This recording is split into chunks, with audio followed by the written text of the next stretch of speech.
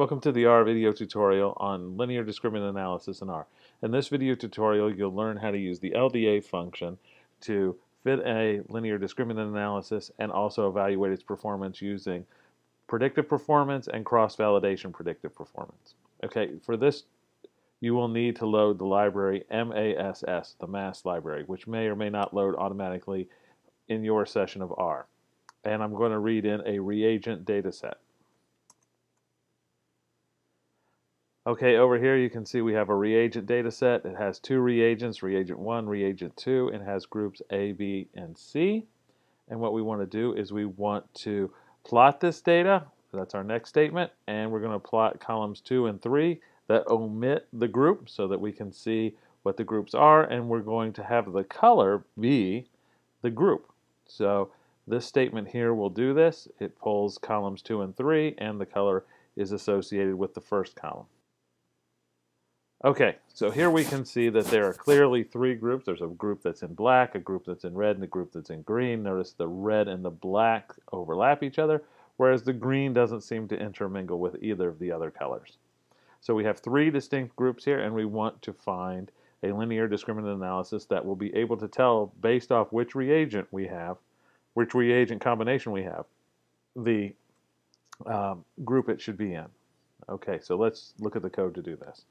The code is incredibly simple, so I'm going to use the LDA function, and it's just for linear discriminant analysis. You put in the grouping as your dependent variable, put the tilde sign just as if you were doing a regression or ANOVA, and you put the two predictors. So we want to classify these two off of reagents. The only thing you need to remember here is that the dependent variable must be categories. They can't be numbers. They must be categories. And then here the data I'm using is data 1, which is what I read into. I'm writing this into data1.lda. And we can do this real quick and see what the output is. And if we look at this, you'll see that it gives you uh, a bit of output here. It tells you the group means, it tells you coefficients of linear discriminants. Uh, you will learn what these are in your multivariate class or some other class where you learn these. And you also see prior probabilities of groups. So what proportion of the data seem to be in each group prior to starting. And these will help you define, uh, the coefficients of linear discriminants will help you define the lines that actually discriminate between the two because that's what linear discriminant analysis does. It places lines in and then use rules to tell you which side of the line which group is on. Okay, so let's see how well this performs in predictive. So I'm going to use the predict function. The predict function is a very generic function.